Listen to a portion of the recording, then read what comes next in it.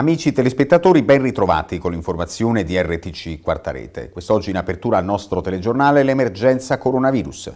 Vincenzo De Luca, il presidente della Campania, auspica che a breve la regione torni a far parte della zona a rischio epidemiologico bianca, che è quella più moderata. La linea del rigore funziona, dice il governatore.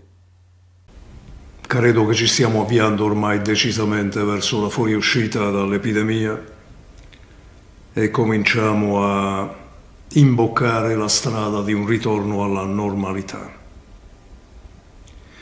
Credo che dopo la prossima settimana la regione potrà tornare in zona bianca. Non cambia granché questo cambio di colori, ma cambia un po' dal punto di vista psicologico. La Campania si sta incamminando verso la fuoriuscita dall'epidemia di Covid come ha detto il presidente della regione Vincenzo De Luca nel corso della sua solita informativa. La situazione va rapidamente migliorando. Credo che ci stiamo avviando decisamente verso la fuoriuscita dall'epidemia e cominciamo a imboccare la strada di un ritorno alla normalità. Dobbiamo ritornare a offrire servizi rapidi anche a pazienti non Covid. L'auspicio del Presidente è prima di tutto che dopo la prossima settimana la Campania torni nella zona di rischio epidemiologico bianca che è quella più moderata, e che soprattutto per la fine di febbraio possano essere riaperti i reparti ospedalieri che erano stati chiusi per permettere la cura di pazienti Covid. Stanno migliorando i dati sui ricoveri e l'auspicio è di riuscire a riaprire le attività ordinarie per non richiudere più. Registrati intanto 5.510 nuovi contagiati nell'ultimo bollettino sui 42.468 test effettuati. 14 i deceduti, 63 posti di terapia intensiva occupati, 1038 posti di degenza occupati. Numeri che potrebbero anche calare nei prossimi giorni e portare forse al ritorno della campagna in zona bianca. Vi rinnovo l'appello ad accompagnarci in queste ultime settimane, ci auguriamo, in quest'ultima coda di epidemia Covid. Nessun rilassamento, ma credo abbiamo il diritto anche di cominciare a respirare. Un po' di pazienza per le mascherine, un piccolo sacrificio che ci aiuterà a uscire definitivamente dall'emergenza. E secondo l'ultimo aggiornamento diramato dal Dipartimento di Prevenzione Unità Epidemiologica e dall'Unità di Crisi della Regione Campania su Cava dei Tirreni, i soggetti attualmente positivi al Covid a Cava risultano essere 1606, quindi 141 unità in meno rispetto al precedente aggiornamento risalente a martedì scorso. I nuovi guariti sono 258 e i deceduti cavesi per Covid aumentano a 60. Restiamo a Cavare Tirreni, convocata dalla Commissione regionale una riunione relativa alla quarta annualità del piano di zona commissariato per l'anno 2019. Questa mattina si è svolto l'incontro con i rappresentanti dei comuni coinvolti. L'incontro stamattina è stato convocato dalla commissione eh, perché come eh, sappiamo il, il, piano di zona è stato commissariato per l'anno 2019 quindi la commissione ehm, ci ha convocato stamattina qui a tutti i sindaci della, eh, del, del facente parte del piano per eh, trovare un punto della situazione. Eh, devo dire che mh, la commissione è stata veramente molto aperta, eh, si è potuto ragionare molto tranquillamente, ehm, si è visto che diciamo, ehm, vogliono venirci incontro affinché questo problema venga risolto e quindi adesso stiamo un attimo affrontando, ancora in corso l'incontro, ehm, come risolvere questa problematica che ci ha portato poi al commissariamento del, del piano di zona riguardante l'anno 2019. Ci sono le basi per rimettere un po' in asse eh, tutta la questione dei servizi sociali in Costiera Malfitana nell'ambito territoriale, in realtà Cava Costiera Malfitana. La nostra intenzione è proprio quella di ripartire da una pianificazione ex novo, un po' di quella che è la concertazione in primis politica, per poi dare l'esecutività a quella che è il braccio operativo dell'ufficio di piano. Eh, ci auguriamo e ci auspichiamo che eh, le professionalità dell'ufficio di piano, quindi dei servizi, eh, possano essere quantomeno integrati a tempo pieno, eh, di modo che eh, possano fare il loro lavoro anche per il PNRR in maniera eh, completa, così come in genere è stato fatto dall'ambito territoriale. La sanità, l'ospedale di Cava diventerà un contenitore vuoto e a rimetterci saranno i cittadini. Questa è la denuncia del Comitato Civico Dragonea in una nota stampa divulgata in questi ultimi giorni. L'ospedale di Cava dei Tirreni diventerà un contenitore vuoto e a rimetterci saranno i cittadini. Bisogna incrementare i servizi ed aumentare il personale medico. La sola ristrutturazione non basta. È quanto dichiarano i membri del Comitato Civico di Dragonea, che hanno reso noto in un documento a firma del presidente Giorgio De Rosa i dubbi e le perplessità di un ridimensionamento ed uno smantellamento del servizio sanitario territoriale a favore di un sistema privato. Secondo i membri del comitato, il problema risiede in tutti i presidi del comprensorio, da Cava a Castiglione di Ravello, passando anche per le difficoltà delle famiglie, addirittura di contattare i medici di base. Questa lettera di denuncia, dichiara il presidente De Rosa, parte da numerose segnalazioni dei cittadini lasciati in balia delle onde, anche per una semplice prescrizione medica. L'ospedale di Cava, eh, come già abbiamo detto, sarà un contenitore vuoto se non si programma sin da subito un'implementazione di personale e di mezzi per far fronte ai bisogni di assistenza sanitaria di un'utenza così numerosa. Abbiamo sottolineato più volte la necessità urgente di nuovi medici e di infermieri, oltre che primari. A cosa serve un'ambulanza nuova se non c'è un rianimatore oppure una TAC nuova se non c'è il personale adatto che la sappia usare, utilizzare? Quindi questa è la vera richiesta che, per cui stiamo battagliando da tempo. Cioè deve rifondare prima la coscienza e l'umanità ancora prima di costruire edifici nuovi eh, l'ordinario che è diventato straordinario, così pure oltre Cava, anche a Castiglione, non è in grado di garantire un servizio pubblico degno di essere chiamato tale. Il sistema di sanità in costiere e dintorni è praticamente va praticamente rivisto e potenziato. Eh, l'esempio di Castiglione è proprio un esempio valido perché è un presidio che ha salvato vite umane negli anni, un fiore di occhiello, un punto di riferimento per tanti cittadini della costiera. Quindi oltre a Cava, tutto il bacino, tutto il territorio che comprende Cava e Costiera, succube da una politica di oppressione, di soppressione e di riduzione di personale negli anni. Eh, la Costiera Vietri eh, e Cava ha bisogno di una medicina territoriale efficiente. A questi cittadini l'ospedale vogliamo chiedere se serve, perché questa è la domanda che ci poniamo. Sono 38.000 cittadini della Costiera, oltre quelli di Cava, che uh, hanno bisogno uh, effettivamente di, uh, di, un ospedale efficiente, ma soprattutto dei servizi socio-assistenziali che ci siano sempre. I cittadini della Costiera sono ormai sfiduciati, disillusi, ma soprattutto arrabbiati nei confronti di un sistema sanitario territoriale che ha come cardine solo praticamente far quadrare i bilanci. A questo poi eh, chiediamo che scendano veramente in campo i nostri amministratori, i sindaci dei 13 comuni della costiera, oltre quello di Cava, che fanno capo allo stesso distretto sanitario peraltro, toglietevi la fascia, rappresentate i veri problemi della gente, ponetevi un ordine di priorità delle vostre agende, mettete al primo posto la salute e i bisogni dei cittadini. A cosa servono questi fondi del PNRR se non riusciamo nemmeno a soccorrere un cittadino in tempo con un'ambulanza ed un medico a bordo. Un, un, parcheggio in più, serve un parcheggio in più, magari questo dopo. Se manca un programma definito sul presente, figuriamoci quello sul futuro. Troppe discriminazioni da troppi anni stiamo subendo. È il momento che chi ha responsabilità ne risponda. L'unica vera voce, eh, ricordate, è quella di noi cittadini, la voce di chi sta in trincea tutti i giorni, che non fa compromessi, che non scende a patti con nessuno, il resto è pura demagogia. La salute pubblica non è un, diritto, è un diritto, non è un regalo che ci deve essere concesso da qualcuno. Andiamo avanti con la cronaca. Gli agenti della Polizia di Stato del Commissariato di Nocera Inferiore hanno arrestato due fratelli per spaccio. La droga è stata rinvenuta dietro a un battiscopa e in un tubo di scarico.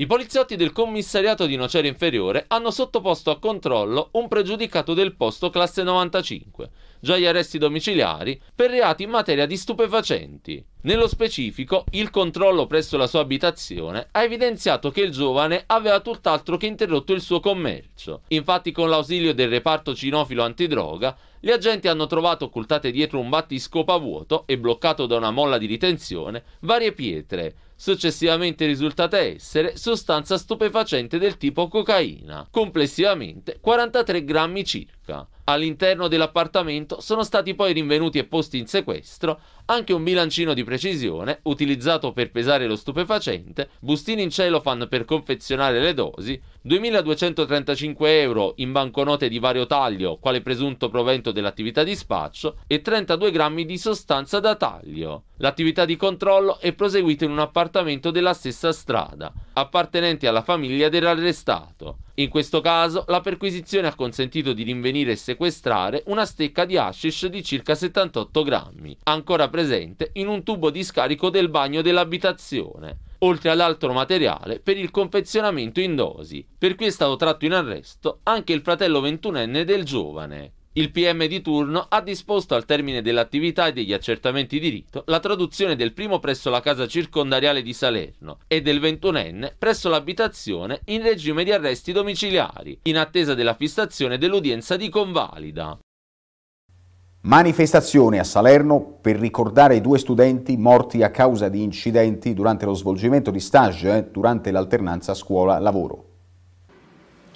Anche a Salerno stamattina per ricordare Lorenzo Parelli e Giuseppe Lenoci, due studenti morti a causa di incidenti durante lo svolgimento di stage nell'ambito dell'alternanza scuola-lavoro, una delegazione di studenti ha partecipato ad un presidio che è stato effettuato in piazza Portanova. Parole dure, quelle utilizzate dagli alunni contro l'alternanza definita uno sfruttamento, ma anche contro una scuola gestita, dicono gli alunni, con striscioni e slogan da padroni.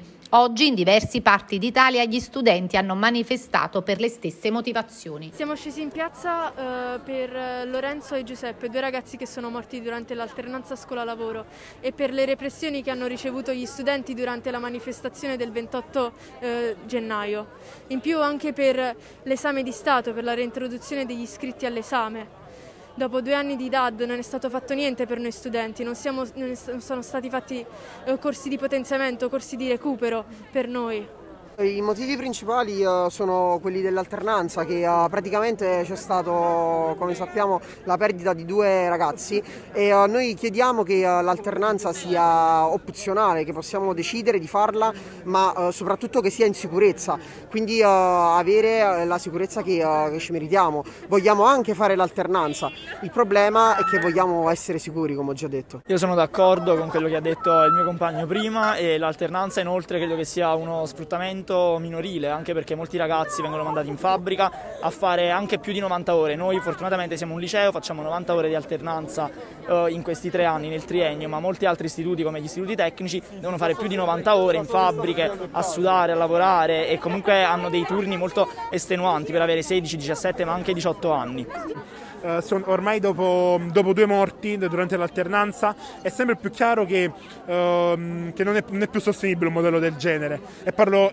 a, uh, diciamo, a grandi livelli un modello del genere è più sostenibile. Non è possibile che due ragazzi escano di casa invece di stare a scuola per andare a lavorare e morire specialmente perché sono obbligati ma soprattutto non sono pagati. Quindi sostanzialmente vanno a morire per far guadagnare qualcuno sostanzialmente. Quindi eh, era per questo il motivo. Ma in generale la situazione della scuola è sempre più sempre sempre peggiore e sempre più precaria e va sempre peggiorando. Uh, perché non ci sta bene che due ragazzi siano morti durante l'alternanza scuola-lavoro, cioè è inammissibile come cosa.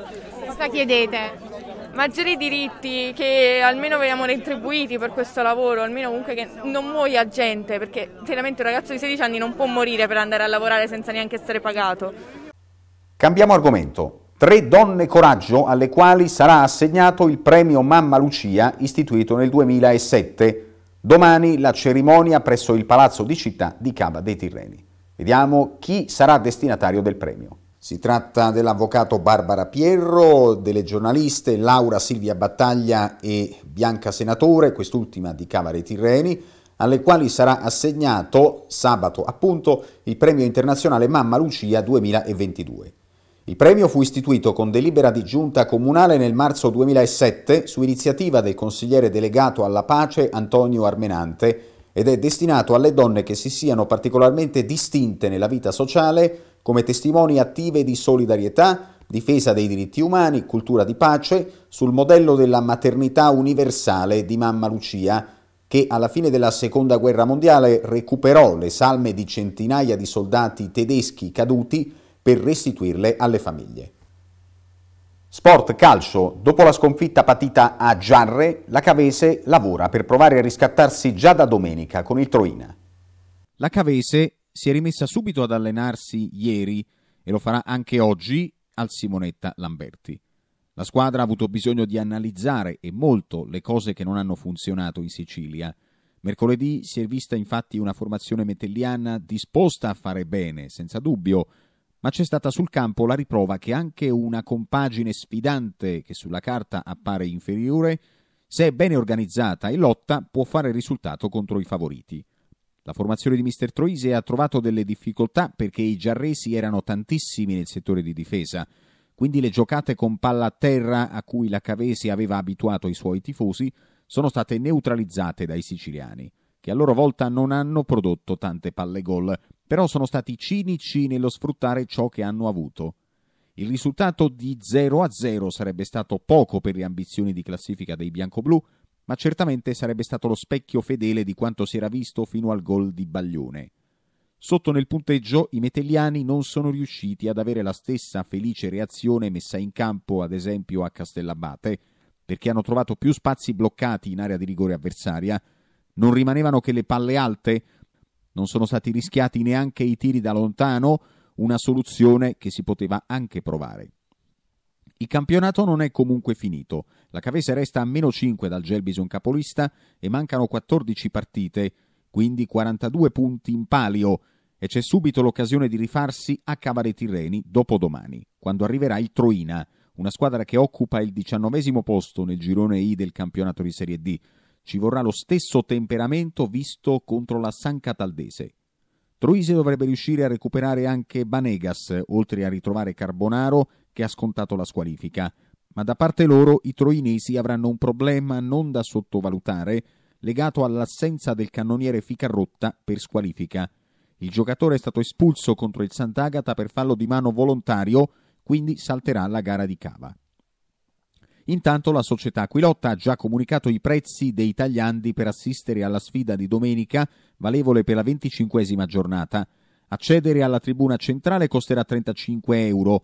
Per la tribuna laterale coperta nord-sud occorreranno 15 euro, ridotto 13, per la tribuna scoperta e i distinti 10 euro, ridotto 8, e per le curve, curva sud e curva nord, il biglietto costa 5 euro obbligatorio essere in possesso del Green Pass rafforzato.